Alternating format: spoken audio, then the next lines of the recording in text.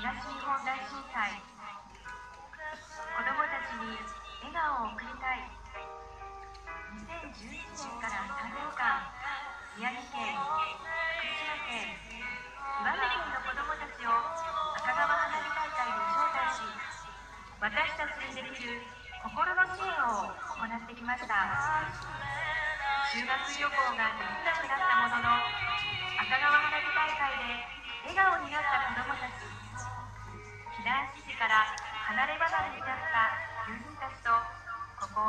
鶴岡での大会鶴岡の子どもたちと交流を行い一緒に合唱した歌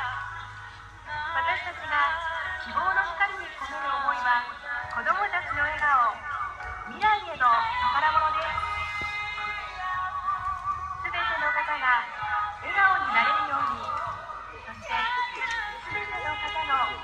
幸せを心から願いここ鶴岡の夜空から希望の光花火は壮大に